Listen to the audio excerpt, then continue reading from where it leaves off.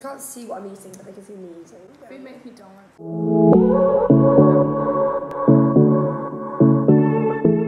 Hi guys, welcome to our channel. My name's Ella. I'm Olivia, and today we are going to be doing a mukbang. So you can't really see mine because I made a um, Wagamama style like vegetable ramen.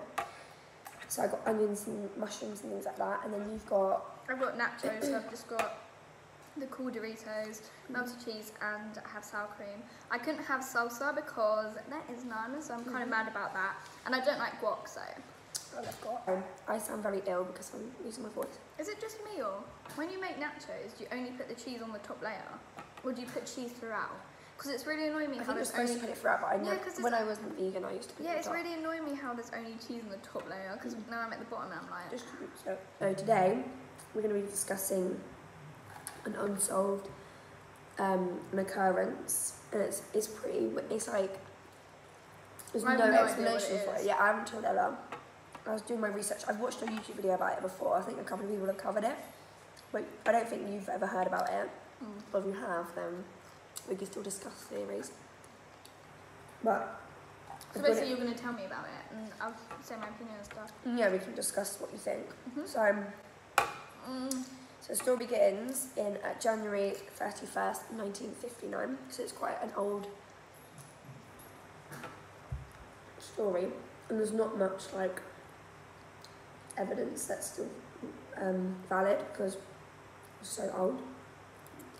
Oh my god, it's just splashing to my What did that? So I'm gonna really butcher the name. I think it's pronounced. The case is called um, the harrowing mystery of the Dyatlov Pass incident. It's a place in Russia. Um,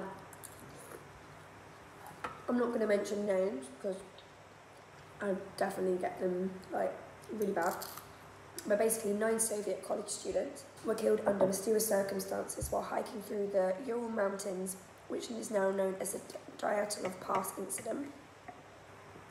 So basically, um, they were ex- uh, they were experienced hikers, and they were never seen alive. None of them were ever seen alive again after this incident, right? Like the a Triangle. Mm. No, because their bodies were found. Oh, whoa. Yeah, I'll explain. On February the first, they began the hike, um, and it's it's known as a very hard hike. Like they went a very treacherous route. The mountain that they were hiking on is actually known as Dead Mount, the Dead Mountain. Why, why would you go up a mountain called Dead Mountain? I don't know. I think they just wanted to. They were asking to die. No, it's not. It's not common for people to die on it and everything. It's been known for people to die there. That's probably why. Yeah. But they were experienced hikers. Mm-hmm. I have to say it's lemon oh, syrup. I don't really like it that much. It's just medicine The reason that they even were discovered like missing or like in trouble. So before embarking, they basically told people obviously about it and when they were going to return, but they didn't hear anything from them. There's no communication. So the people like that they knew, family and friends, uh, got a search party to try find them. I'm guessing it's probably like other experienced people. Mm-hmm. So the volunteer rescue force, oh, it's a volunteer one, so I'm guessing it's family friends. Mhm. They tre- they trekked through the same hiking path. They found the campsite, but none of the hikers.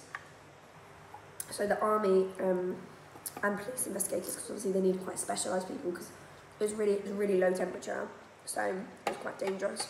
Maybe they froze to death. Um, yeah, but um, No, they find the bodies. I'll tell you. No, no, they, I will talk about theories after. The rescuers, well, the search her team weren't very um, like positive about it. Basically, they thought they were dead. Yeah, kind of, because they there was no communication. Mm. Campsite was abandoned. It was cold. They, they were expecting to find bodies, but they didn't think they would find them the way they did. Right. The bodies were found, but the state that they were found in raised even more questions rather than what they started with. Like it just raised alarm bells and everything. So when they arrived at the campsite, the first thing the investigators noticed is that the tent. I don't know how they know this, but somehow they figured it out. The tent hadn't been cut. One of the tents at the campsite that the um, hikers went there, it been cut from the inside. Pardon me, open. So instead of it being from the outside in, Yeah. it's not like someone tried to break upon me, break into their tent. tried to they break tried to break out, but what would scare them so much? That's that, like in the in the cold middle of the night in the cold So you'd want to in the dark. Yeah, that's like your comfort, like your Mm. tent. Why? For what reason would they cut out of their tent? Do you know what I mean? in? Right, and it, that's quite scary. Like what made them? Why would they cut it? That's what I mean. That exactly to destroy their equipment is a last a last resort. So, what made them want to Mm. cut a tent? Do you know what I mean? It's so crazy because no one will ever know. No, it's really frustrating. There's no like, and because it's such a long time ago, there's not much they can go on. Yeah. That's what they realised first of all. Most of the belongings um, had been left there, including shoes. Bearing in mind the first thing to get frostbite is probably your toes or fingers. So the fact that they didn't even have time to put shoes and uh, gloves and that one. Mm. They're trying to get away from They're really weird, yeah. Um, the footprints that they found of the nine people, I think it was, I don't know it was nine or eight, I'm pretty sure it was nine, but then it said eight, so. Sorry. Oh no, it is eight, it's eight. Look Oh, eight or nine. That match. Oh my god, it's loaded. Load Maybe you have it within the water. Um, yeah, the footprints of the hikers, uh, they found the sets of footprints, but it was quite clear that it wasn't with shoes, it was footprints with either socks or Yeah. no shoes. So that was obviously really bad. And they led to a trail almost a mile away from the camp in the woods, forest's edge, under a large cedar tree. They found the remains of a small fire but I don't know if it was still lit or if it had been, I'm guessing it had been put out because of the weather. And the first two bodies, which I won't, can't pronounce the two names, two of the hikers, despite the temperatures of minus 13 to minus 22 on the night of their deaths, both men's bodies were found shoeless and wearing only underwear. What? Yeah, right? I know, it's weird. Gets weirder. Experienced hikers wouldn't do that unless it was necessary. Mm. Then they found the next three bodies who had died on their way back to the camp from the fire, like fire, pla- um, not fireplace, what's the word? Fire pit. Mm-hmm. Fire that had been under the tree. They start to make, make where they think they start to make their way back to the camp. Maybe they were just all really drunk and went on a mad one. Mm. We had to wait till the, the rest of it though. You talk about your theories and my theories. It's, I don't know. So while the circumstances are a bit odd, nothing. Um, but it was quite clear that they'd already perished or died from hypothermia, Mhm. obviously, probably caused by their lack of clothing and everything. Mm-hmm. So yeah, their bodies showed no indication of severe external damage, so no like foul play or being attacked. Um, so they, they were the first five bodies, but it wasn't until a few months later that the other four of the hikers were found, Oh, really? buried under a lot of snow, Mhm. and that, this is what caused most of the mystery. So I'm pretty sure, because when I watched, the, I've watched a video on this, I'm pretty sure the whole thing happened quite near to a Russian military base. So there's theories about that. So when they discovered, they discovered them in a ravine under 75 meters of snow. Oh wait, hang on. How did they discover them? Under the snow in a ravine 75 meters deeper into the woods Oh. than the cedar. Okay, so a little ravine under Yeah. sea. Um, but they, their bodies um, told a completely different story to the that of the other ones that were found. Because the other ones were like, oh, fair enough. It's still a bit weird how they're cut out of the tent, Yeah. but And how they were in underwear. Hmm. But fair enough, they died of hypothermia, it's kind of a given. Three of the four hikers that were found um, had- had suffered significant skull damage before die, death, moments before their death. Uh, one of them had major chest fractures that could only have been caused by immense force that has been said that it couldn't be caused by a human. It was to is comparable to that of a car crash. Oh my god. And the most gruesome one was one of them miss- was missing her tongue, her eyes, and part of her lips, as well as some of her fa- facial tissue and part of her skull or skull bone. Oh my god. And yeah, there's people that say, oh, that hypothermia can cause your Yeah. eyes to like decompose, but your, your tongue. It just doesn't make sense. Um, yeah, like you know when you see frozen fish, their eyes haven't deteriorated, like they're, they're still there. Like it, usually hypothermia will preserve, like and the cold will preserve stuff rather than make it decompose because like the heat would decompose it. So it's not very likely that it was the cold that caused her things to be cut out. The other body called Alexander something something uh, was in the same location but without any wounds. So it's a bit weird because they all suffered the same hit because there's, there's theories of an avalanche. Um, why wouldn't they all have different? Why wouldn't they all have severe injuries? He didn't. Actually, No. that makes sense if it was an avalanche. Yeah, because that would make sense. The cutting out of the tent, the running with no shoes on. Do you know what I mean? That does Mm. make sense, but then it doesn't make sense why half her tongue would be Mm. missing if it was an avalanche. Yeah. So the second group of bodies suggested that the hikers had died at distinctly at distinctly different times to the first group that explained. They appear to have been making use of the clothes from the people that had died before them. So there's a different timeline. So the, the first group that I explained by the cedar tree and everything, they died first because the second group had their clothes on, and it'd been obvious that they'd tried to use them to Yeah. keep warm. So it's different times that they died. Oh, so they did dye their clothes on then. The other two. Well, barely clothed, but they tried to make use of what they could. hmm No shoes and socks, but Nice maybe of them to leave that legs. on. Yeah. that really made me The dog just saw a squirrel. Yeah. So one of their feet was wrapped in a piece of um, the other person's uh, pants, like wool pants, suggesting they had taken them after she died, as it was originally belonging to the other pa- Yeah. um, passenger, the other um, hiker.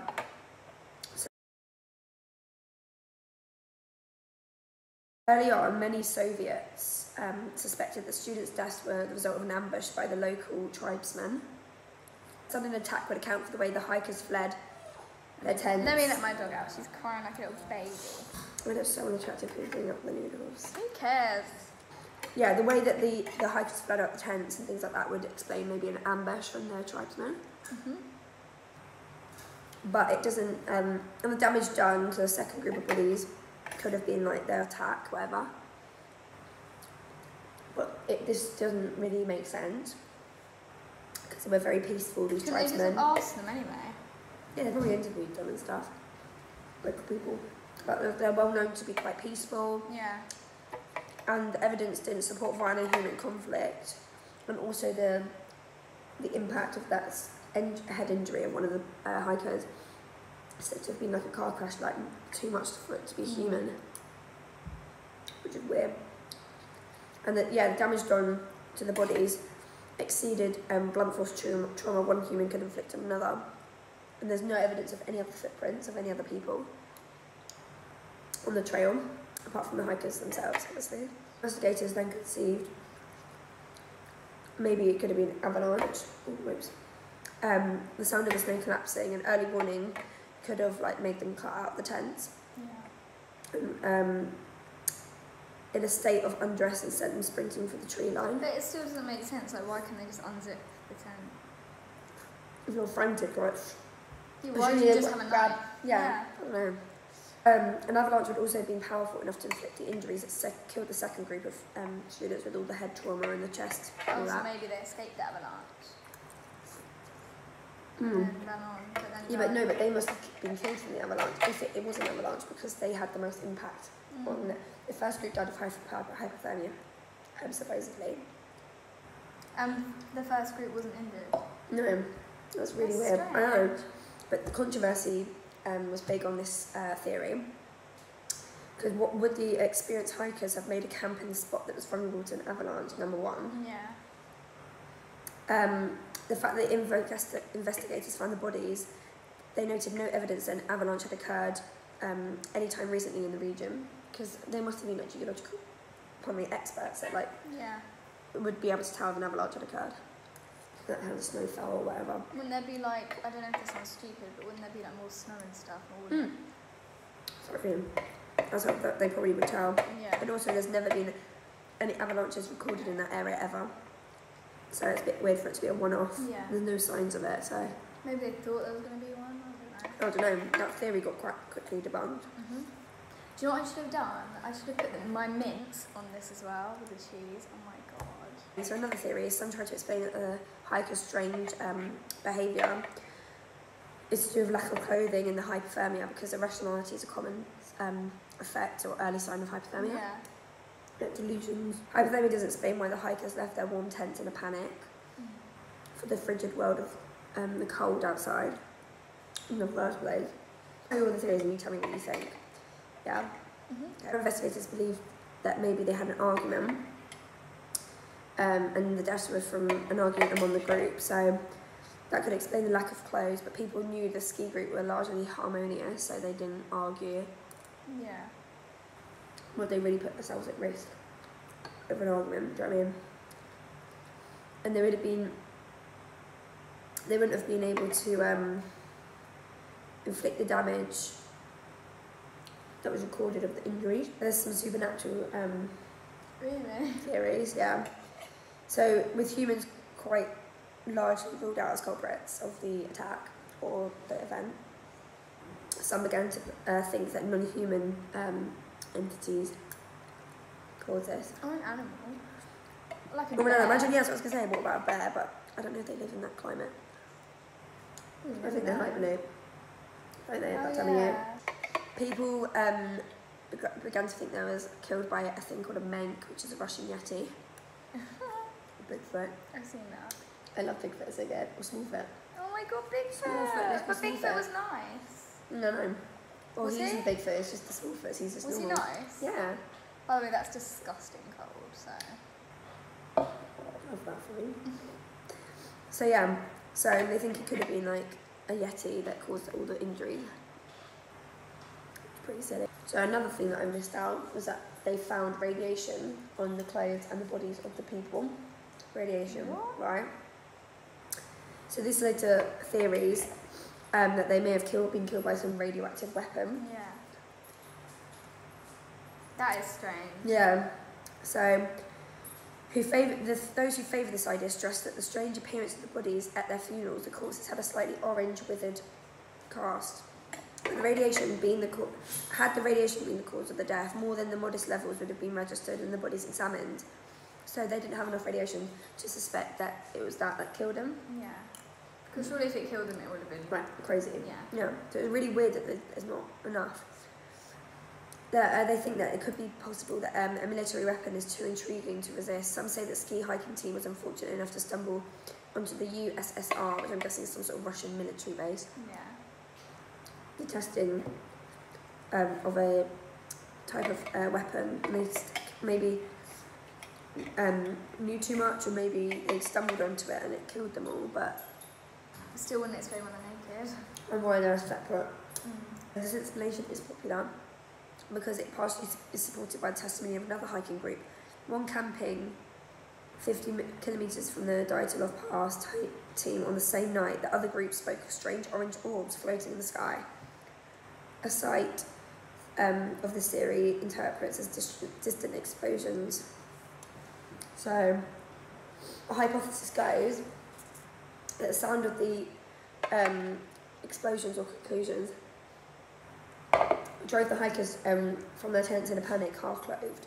Half died of hypothermia within quite quickly. While attempting to take shelter from the blast while waiting near the tree line, makes sense. The second group, having seen the first group freeze, determined to go back for their belongings, but fell victim to hypothermia too. While the third group got caught in a fresh blast um, into the forest and died from their injuries. I suspect And is he One of the sniffing chi- around? one of the chief investigators said that um, uh, they, they suspect at the time they are sure that these bright flying spheres had a direct connection to the group's death. And that was the chief investigator at the time. Really? Yeah, so that's basically all the theories. Sorry, I've been reading from my phone. It's just a lot of information to remember. Um, as this is our first like story time kind of. I watch like, other YouTubers that do this kind of thing where they bang and they um, talk about really weird cases or true crime stuff. So, what do you think happened? What's your theory? I have no clue. It's really weird. I don't know, it's really strange. Like maybe they could have been ambushed by like someone that escaped. You never know. Their bodies were found months later. It would have given like the attacker a lot of time to get away. Like they could have had like a car, weapons. You don't know. There's no car tracks, no other footprints. Oh yeah. I don't know because it's it's the it's it's contradict.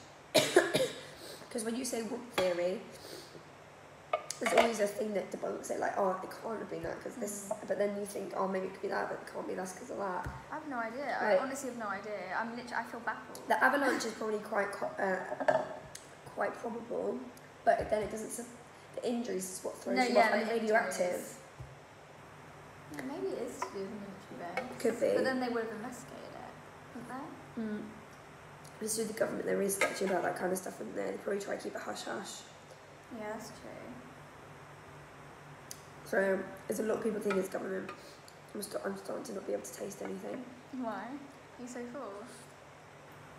Oh, because The you're cold. Oh, how's it with a lemon sip? You should have drank it hot because it is disgusting cold. Try it. This is so damn good. That's what you've had. good. Yeah, must be my house. It is. I'm not gonna want to drink this. It's good for your cold. It has paracetamol in it. Don't really care. I'm just filled up on my stomach as well. It's so hard, but it's, it's lukewarm. Now I've just drank lemonade. It tastes. I'm not even being dramatic. I really don't like it. I can't drink that. So I think. I don't know if actually think about it. I thought about it, but I just know. don't know.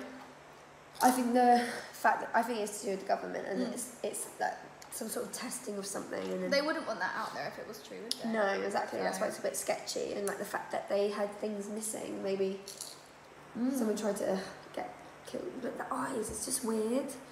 I don't know, and it wouldn't be like an animal because they're usually in hibernation in the winter. And there was no prints. There was no animal prints or anything like that. Mm. If I was that investigator, I'd be so frustrated. Mm. By the way, guys, that sounded like a fight. It wasn't. This whole chair's rubbing together. When you try and make the noise again. It doesn't work.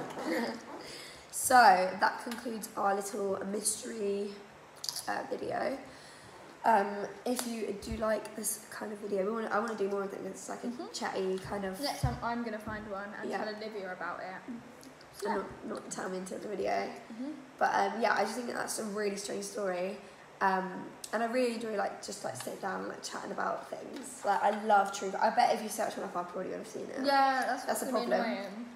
I'll still discuss it with you. And like, yeah. Thank you for watching, guys. We will see you in our next video, which will be up on either a Wednesday or Sunday, depending on which when we upload. By the way, thanks for 40 subscribers. Oh yeah, no, we're on 41. 41, yeah. At yeah, this but that, we're doing it in 10, so like, thanks for 40 subscribers. Our next goal is 50. Okay, so thanks to our 40 subscriber mark. Um, our aim is 50 by the end of the year.